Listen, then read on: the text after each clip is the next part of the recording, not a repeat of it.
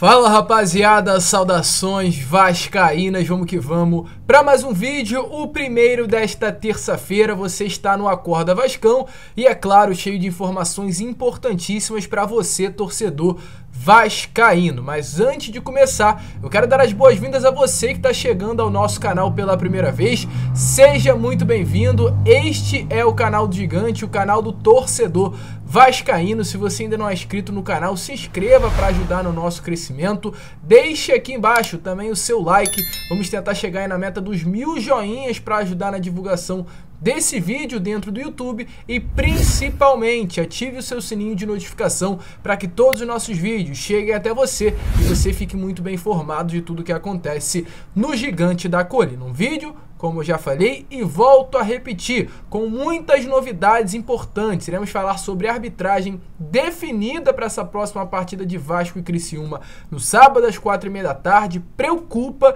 e realmente parece que a CBF está de brincadeira com o Vasco da Gama. Além disso, falar sobre Nenê recuperando também para essa próxima partida de sábado. Falar sobre Diego Souza novamente se posicionando sobre o Vasco da Gama, deixando bem claro que o Vasco é o seu clube do coração. Falar sobre sobre SAF, 777 Partners e muitas outras informações. Então, para que você não perca absolutamente nada, fique até o final do vídeo, tranquilo, rapaziada? Mas vamos lá, né? Sem muita enrolação, falar logo de Vasco da Gama. Eu quero iniciar esse vídeo já falando sobre arbitragem, porque foi confirmada a arbitragem deste próximo sábado contra a equipe do Criciúma em Santa Catarina.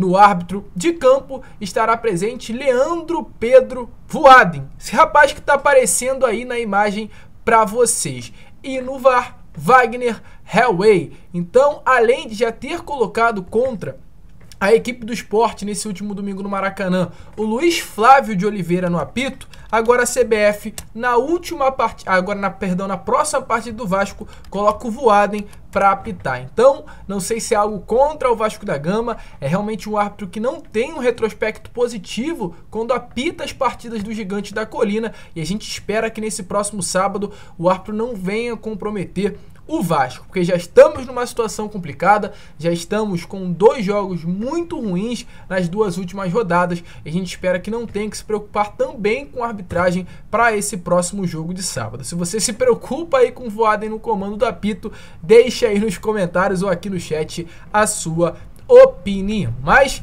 seguindo, né, rapaziada, ainda sobre essa partida de sábado, Ontem tivemos uma informação importante sobre o Nenê. O Nenê que infelizmente foi desfalque para essa partida de domingo contra a equipe do esporte. E que desfalque, né? O Nenê realmente foi para o elenco Cruz Maltino, para o desenvolvimento de um jogo do Vasco. Ficou nítido que a ausência do vovô faz falta no Vasco da Gama. E a informação que a gente tem é que ele já está se recuperando da lesão e deve atuar contra a equipe do Criciúma nesse próximo sábado. Lembrando que o camisa 10 sentiu um desconforto na panturrilha diante do Novo Horizontino na partida da última quarta-feira. Devido a isso, ficou de fora, mas no sábado e no domingo, aliás, perdão, no domingo e ontem na segunda-feira, dois dias que ninguém foi ao CT Moacir Barbosa, o Nenê esteve lá, participando do seu processo de recuperação física dessa lesão que acabou sofrendo na panturrilha. Então, expectativa grande para que ele já venha estar presente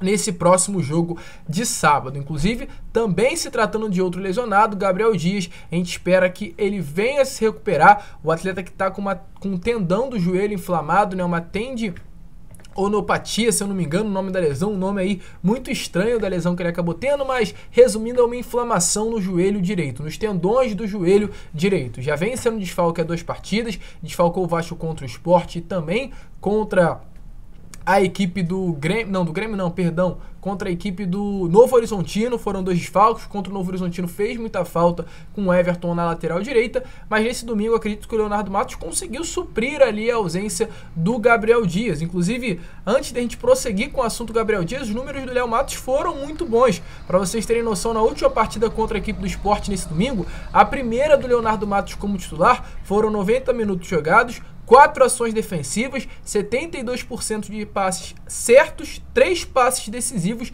e dois cruzamentos certos. Inclusive, esses dois cruzamentos criaram aí uma boa oportunidade igual ao Vasco. Se tivéssemos um atacante, talvez de melhor qualidade, que no caso foi o Raniel, finalizador desse cruzamento, o Vasco poderia ter saído com um gol e assistência do Leonardo Matos. Porém, a gente torce né, para uma pronta recuperação aí do Gabriel Dias, para que já nesse próximo jogo de sábado ele venha estar presente, para que o torcedor vascaíno nem sequer pense numa ausência também do Leonardo Matos e um possível retorno do Everton à lateral direita, porque não temos mais coração para ver o atleta sendo titular da equipe.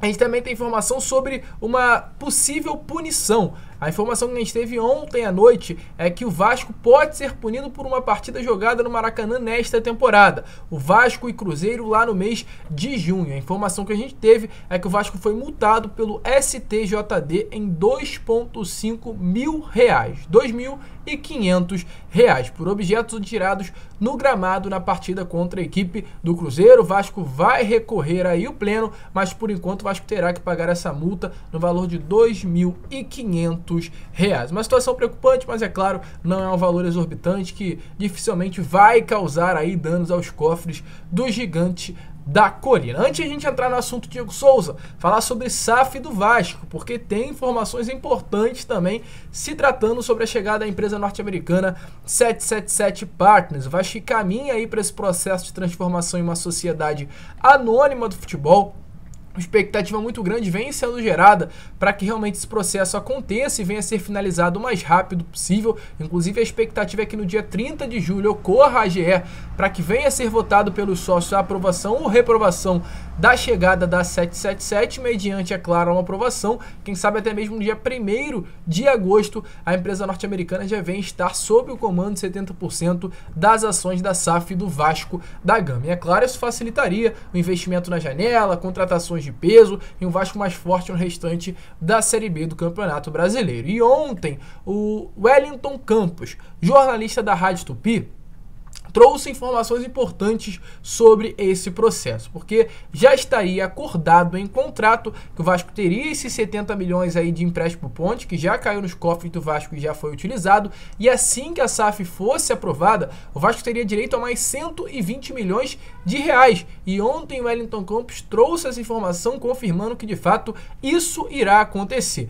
Nessa próxima quinta terá uma reunião no Conselho Deliberativo para dar uma olhada nos contratos, aprovar a parceria parceria. E caso essa parceria de fato venha a ser aprovada nessa próxima reunião e mediante a uma AGE, a empresa norte-americana vai depositar logo muito provavelmente no dia 1 de julho esses 120 milhões, sendo que desses 120, 20 já serão aí colocados para a reforma do CT Moacir Barbosa. Reforma não, né? A conclusão. Hoje o CT Moacir Barbosa está muito longe, né, daquele projeto idealizado pelo Vasco na gestão Alexandre Campelo. Ainda faltam mais campos anexos, ainda faltam inclusive até mesmo estádio ali, um mini estádio com capacidade para 5 mil pessoas para os jogos das categorias de base ser construído e para que dê andamento a esse proje projeto, perdão, eu ia falar processo, né?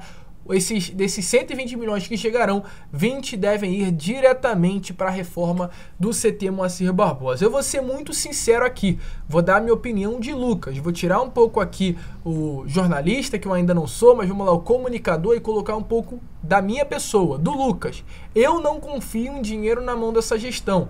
Não devido a uma desconfiança por parte de roubo, nada do tipo. Mas não confio que o dinheiro vá rodar de uma maneira correta, não vai ser investido da melhor maneira possível. Eu preferia que desses 120 milhões eles fossem utilizados pela própria empresa norte-americana. Mas pelo que dá a entender, desses 120 milhões, os 120 irão para a mão do Vasco e 20 serão colocados na é, conclusão ali do CT Moacir Barbosa. Vamos esperar, vamos ver o que irá acontecer. Eu tô numa ansiedade grande aí, sinceramente, para a chegada da empresa norte-americana, para esses investimentos que serão feitos, mas eu quero que a própria empresa norte-americana invista. Não gostaria de ver esse dinheiro nas mãos das pessoas que hoje estão dentro do Vasco. Volto a repetir, nada com relação a algo ilícito, com relação a, a roubo, nada do, do tipo, mas com relação mesmo a capacidade de investimento. Não vejo as pessoas hoje dentro do Vasco capacidade suficiente para gerir 120 milhões de reais.